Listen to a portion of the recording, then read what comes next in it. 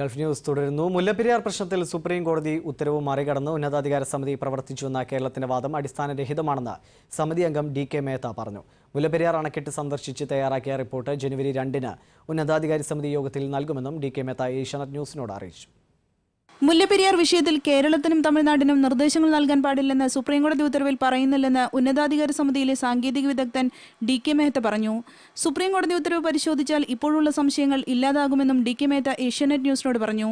മുല്ലപ്പെരിയാർ അണക്കെട്ട് സന്ദർശിച്ച അവസരത്തിൽ ഉന്നതാധികാര സമിതിയിലെ സാങ്കേതിക വിദഗ്ധൻ സി ഡി തട്ടെ ബേബി ഡാമിൽ അറ്റകുറ്റപ്പണികൾ നടത്തുന്നതിന് തമിഴ്നാടിന് നിർദ്ദേശങ്ങൾ നൽകിയതിൽ കേരളം അതൃപ്തി രേഖപ്പെടുത്തിയിരുന്നു.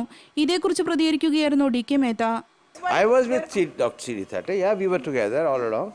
But I have told you that yes, first you you go through the the orders of the Honorable Supreme Court, and that besides that, I have no other comments to make. Mullaperiyar അണക്കെട്ട് സന്ദർശിച്ചപ്പോൾ കേരളത്തിൽ നിന്നും തമിഴ്നാട്ടിൽ നിന്നും ആവശ്യമായ വിവരങ്ങൾ ലഭിച്ചതായും D K Mehta അറിയിച്ചു ജനുവരി രണ്ടിന് ഇത് സംബന്ധിച്ച റിപ്പോർട്ട് ഉന്നതാധികാര സമിതി യോഗത്തിൽ നൽകുമെന്നും അദ്ദേഹം പറഞ്ഞു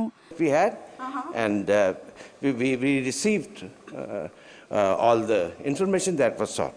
Cameraman P N ഉണ്ണികൃഷ്ണനൊപ്പം Ambili Menon Asianet news New Delhi മുല്ലപ്പെരിയാറിലെ ബേബി ഡാമിന് സമീപം അറ്റകുറ്റപ്പണികൾ നടത്താനുള്ള തമിഴ്നാടിന്റെ ശ്രമം കേരള പോലീസ് തടഞ്ഞു. അണക്കെട്ടിൽ കഴിഞ്ഞ ദിവസം പരിശോധന നടത്തിയ ഉന്നതാധികാര സമിതി അംഗം സി ഡി തട്ടയുടെ നിർദ്ദേശമനുസരിച്ച് അറ്റകുറ്റപ്പണികൾ നടത്താനുള്ള ശ്രമമാണ് കേരള പോലീസ് തടഞ്ഞത്. അണക്കെട്ടിന്റെ പിൻഭാഗത്ത് വർഷങ്ങൾക്ക് മുൻപ് നടത്തിയ ജോലികളുടെ ഭാഗമായി നിർമ്മിച്ചിരുന്ന കുഴികൾ മൂടാനായിരുന്നു തമിഴ്നാട് പൊതുമരാമത്ത് വകുപ്പ് ഉദ്യോഗസ്ഥരുടെ ശ്രമം. സി പി എം ജില്ലാ സമ്മേളനങ്ങൾ തുടരുന്നു.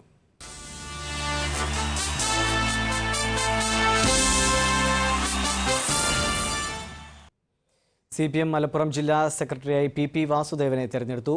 എട്ട് പുതുമുഖങ്ങളും മുപ്പത്തിയഞ്ചംഗ ജില്ലാ കമ്മിറ്റിയിൽ ഇടം നേടി. സമ്മേളനം ഇന്ന് സമാപിക്കും. സി പി എമ്മിന്റെ ജില്ലയിലെ മുതിർന്ന നേതാക്കളിൽ ഒരാളും സംസ്ഥാന കൺട്രോൾ കമ്മീഷൻ ചെയർമാനുമാണ് പി പി വാസുദേവൻ. പുതിയ ജില്ലാ സെക്രട്ടറി ആരാകണമെന്നതിനെ ചൊല്ലി ജില്ലാ കമ്മിറ്റി അംഗങ്ങൾക്കിടയിൽ അഭിപ്രായ വ്യത്യാസമുണ്ടായിരുന്നു. ഉമ്മർ മാസ്റ്റർ തന്നെ ജില്ലാ സെക്രട്ടറി സ്ഥാനത്ത് തുടരണമെന്ന ഒരു വിഭാഗം വാദിച്ചു. ഉമ്മർ മാസ്റ്റർക്ക് പകരം ബി ശശികുമാറിന്റെ പേരും ജില്ലാ സെക്രട്ടറി സ്ഥാനത്തേക്ക് ഉയർന്നു. ഇതേ തുടർന്ന് സംസ്ഥാന കമ്മിറ്റി പ്രതിനിധി സമവായ സ്ഥാനാർത്ഥിയായി പി പി വാസുദേവന്റെ പേര് നിർദ്ദേശിച്ചു. കമ്മിറ്റി ഏകകണ്ഠമായി ഇത് അംഗീകരിക്കുകയും ചെയ്തു. നിലവിലുള്ള ജില്ലാ സെക്രട്ടറി സഹ ഉമ്മർ മാസ്റ്റർ സഹ പി പി വാസുദേവന്റെ പേര് നിർദ്ദേശിക്കുകയും ജില്ലാ കമ്മിറ്റി ഏകകണ്ഠേന ആ പേര് അംഗീകരിക്കുകയുമാണ് ഉണ്ടായത്. ആരോഗ്യപരമായ കാരണങ്ങൾ കൊണ്ടും അദ്ദേഹം നമുക്ക് എല്ലാവർക്കും അറിയാം സമ്മേളനം നടക്കുന്നതിനിടയിലും അദ്ദേഹം ആശുപത്രിയിലായിരുന്നു. അദ്ദേഹം സ്വയം പി പി വാസുദേവന്റെ പേര് ഉന്നയിക്കുകയാണ് പുതിയ ജില്ലാ കമ്മിറ്റിയിൽ അഞ്ച് ഏരിയ സെക്രട്ടറിമാർ ഉൾപ്പെടെ എട്ട് പുതുമുഖങ്ങൾ ഇടം നേടി. സി പി എമ്മിന്റെ മലപ്പുറം സമ്മേളനത്തിൽ വാർത്ത ചോർത്തൽ വിവാദത്തെ തുടർന്ന് നടപടി നേരിട്ട അസൈൻ കാരാട്ടും കഴിഞ്ഞ തവണ ജില്ലാ കമ്മിറ്റിയിലേക്ക് മത്സരിച്ച് പരാജയപ്പെട്ട എ ശിവദാസനും ജില്ലാ കമ്മിറ്റിയിലെത്തി. ജില്ലാ കമ്മിറ്റിയിലേക്ക് മത്സരം ഉണ്ടായിരുന്നില്ല. മുസ്ലിം ന്യൂനപക്ഷത്തിനു പുറത്തു നിന്നുള്ള ആദ്യത്തെ സി പി എമ്മിന്റെ മലപ്പുറം ജില്ലാ സെക്രട്ടറിയാണ് P P Vasudevan. Asianet news Malappuram.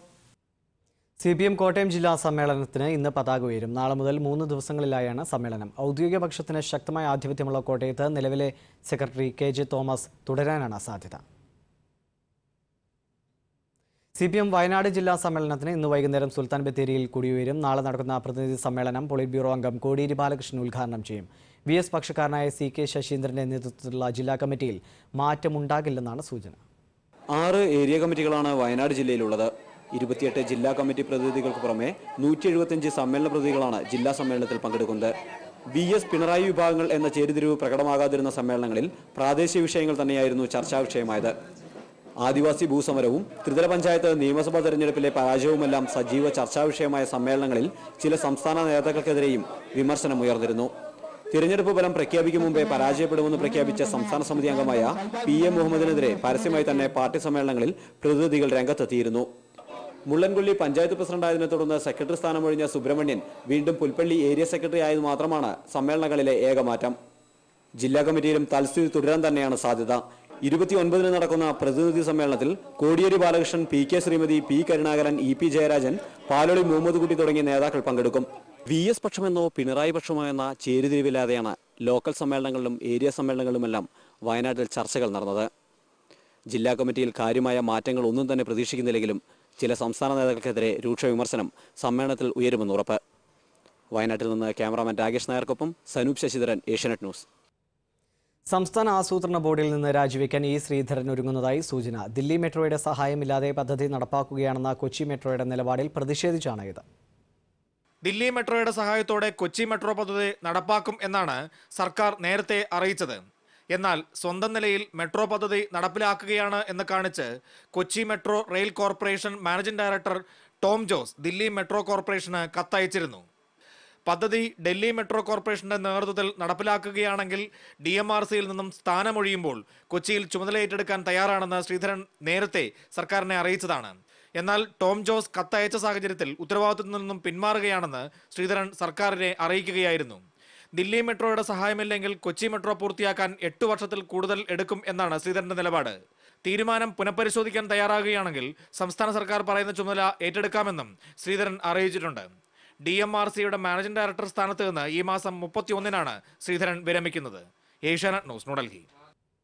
Congress നേതാവും മുൻ എം എൽ എയുമായ ശോഭന ജോർജ് സിനിമാ രംഗത്തേക്ക്. ശോഭന കഥയും തിരക്കഥയും തയ്യാറാക്കി നിർമ്മിക്കുന്ന പുതിയ സിനിമയുടെ ചിത്രീകരണം അടുത്തയാഴ്ച ചെങ്ങന്നൂരിൽ തുടങ്ങും. ചിത്രത്തിൽ ഒരു പ്രധാന വേഷത്തിലും ശോഭനയെത്തും മുഴുവൻ സമയ പൊതുപ്രവർത്തകയും മുൻ നിയമസഭാ സാമാജികയുമായ ശോഭന ജോർജിന് രാഷ്ട്രീയം വിട്ടൊരു മേഖലയില്ല. അതുകൊണ്ട് തന്നെ സിനിമയ്ക്ക് വേണ്ടി എഴുതിയ കഥയും സാമാജിക ജീവിതവുമായി ബന്ധപ്പെട്ടതാണ്. എം എൽ എ ആയിരിക്കെ നിയമസഭയിൽ അവതരിപ്പിച്ച സബ്മിഷനാണ് സിനിമയുടെ കഥാതന്തു. ബാലവേല നിരോധിച്ചിട്ടുണ്ടെങ്കിലും സാഹചര്യങ്ങളുടെ സമ്മർദ്ദം മൂലം വേലയെടുക്കേണ്ടി വരുന്ന കുട്ടികളുടെ അവകാശ സംരക്ഷണത്തെ പറ്റിയാണ് സിനിമ. കുടുംബത്തെ സംരക്ഷിക്കാനോ അല്ലെങ്കിൽ സ്വന്തം വിദ്യാഭ്യാസത്തിനോ വേണ്ടിയിട്ട് ഒരു ബാലന് ജോലിയിൽ ഒരു ബാലയ്ക്ക് ഒരു ജോലി ചെയ്യേണ്ടി വരുന്ന ഒരു സാഹചര്യം ഉണ്ടാകുമ്പോൾ അതിന് ആ ജോലി കൊടുക്കുന്നവരെ പോലീസ് പിടിക്കുക അറസ്റ്റ് ചെയ്യുക അവരെ തുറുങ്കിലടക്കുക ഇതൊരു സോഷ്യൽ ഇഷ്യൂവാണ് ശോഭന ജോർജ് കഥയും തിരക്കഥയും രചിച്ച സിനിമയ്ക്ക് പ്രതീക്ഷയോടെ എന്നാണ് പേരിട്ടിരിക്കുന്നത്. ചെങ്ങന്നൂർ ഫിലിംസിന്റെ ബാനറിൽ ശോഭന നിർമ്മിക്കുന്ന സിനിമ ഒരുക്കുന്നത് പുതിയ ഒരു സംവിധായികയാണ്. തിരുവനന്തപുരം സ്വദേശിയായ സ്നോബ.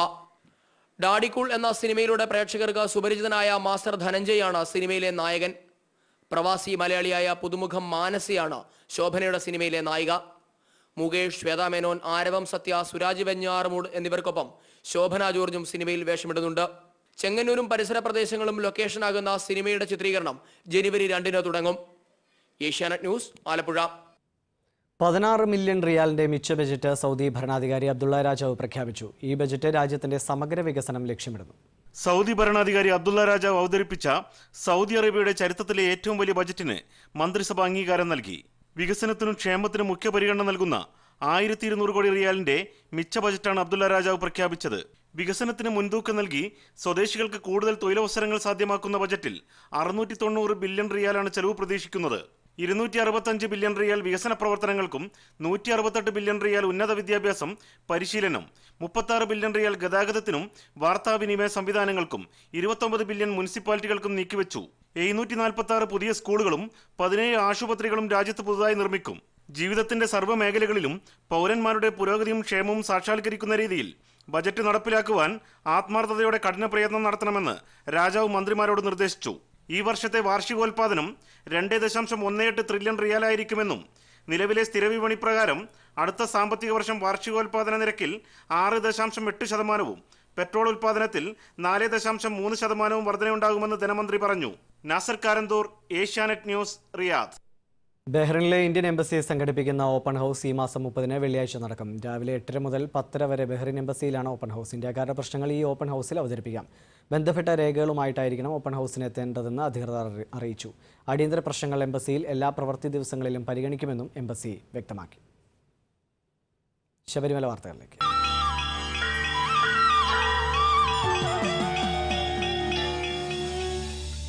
വലിയ വിവാദങ്ങളൊന്നുമില്ലാതെയാണ് ഇത്തവണത്തെ മണ്ഡല തീർത്ഥാടന കാലം കടന്നുപോയത്. ദേവസ്വം ബോർഡിന് ഇക്കാര്യത്തിൽ ആശ്വസിക്കാമെങ്കിലും പരിഹരിക്കപ്പെടേണ്ട അപാകതകൾ ഏറെയുണ്ട്. സന്നിധാന പരിസരത്ത് ഹോട്ടലുകൾ അനുവദിക്കാത്തതും വിരിപ്പുരകൾ പൊളിച്ചു നീക്കിയതും ആദ്യഘട്ടത്തിൽ തീർത്ഥാടകർക്ക് അല്പം ബുദ്ധിമുട്ടുണ്ടാക്കി. പക്ഷേ സന്നിധാനത്തെ തിരക്ക് കുറയ്ക്കാനും മാലിന്യരഹിതമായി സംരക്ഷിക്കാനും ഇതുകൊണ്ട് കഴിഞ്ഞു. ശബരിമല മാസ്റ്റർ പ്ലാൻ പ്രകാരമാണ് വിരിപ്പുരകൾ പൊളിച്ചത്. ബദൽ സംവിധാനം ഒരുക്കും മുമ്പേ ഇവ പൊളിച്ചു നീക്കിയതാണ് പ്രശ്നമുണ്ടാക്കിയത്. ദർശന സമയം കൂട്ടിയതും വിർച്വൽ ക്യൂ സമ്പ്രദായവും ഭക്തർക്ക് കുറച്ചൊന്നുമല്ല ആശ്വാസം നൽകിയത്. സന്നിധാനത്തെ ശുചീകരണ പ്രവർത്തനങ്ങൾ എടുത്തു പറയേണ്ടതാണ്. ശബരിമല മുൻവർഷത്തേക്കാൾ വൃത്തിയുള്ളതായിരുന്നു. തീർത്ഥാടനകാലത്തിന്റെ അവസാന നാളുകളിലാണ് അരവണട്ടിൻ പൊട്ടിയ സംഭവം ഉണ്ടാകുന്നത്.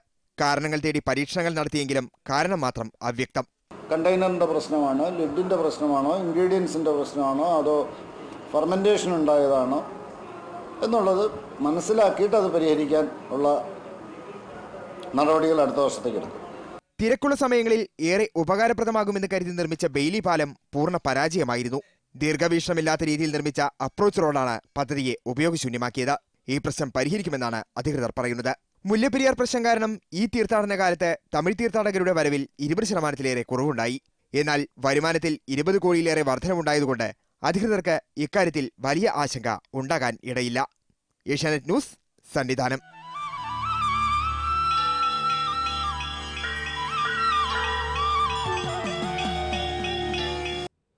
Malayala Manorama Kozhikode bureau chief Sanjay Chandrasekhar അന്തരിച്ചു. മുപ്പത്തിയൊൻപത് വയസ്സായിരുന്നു. മസ്തിഷ്കാഘാതത്തെ തുടർന്ന് കോഴിക്കോട്ടെ സ്വകാര്യ ആശുപത്രിയിലായിരുന്നു അന്ത്യം. മൃതദേഹം മലയാള മനോരമ കോഴിക്കോട് ഓഫീസിൽ പൊതുദർശനത്തിന് വെച്ചു. Mayor A K Premajam collector doctor P B Saleem തുടങ്ങിയവർ അന്തിമോപചാരം അർപ്പിച്ചു. പത്തുമണിയോടെ മൃതദേഹം സ്വദേശമായ കോട്ടയത്തേക്ക് കൊണ്ടുപോയി. സംസ്കാരം നാളെ വൈകിട്ട് നാല് മണിക്ക് പാലായിലെ വീട്ടുവളപ്പിൽ നടക്കും. സംസ്ഥാന സർക്കാരിന്റെ മികച്ച അന്വേഷണാത്മക പത്രപ്രവർത്തനത്തിലുള്ള അവാർഡ് ഉൾപ്പെടെ നിരവധി പുരസ്കാരങ്ങൾ സഞ്ജയ് ചന്ദ്രശേഖർ നേടിയിട്ടുണ്ട്.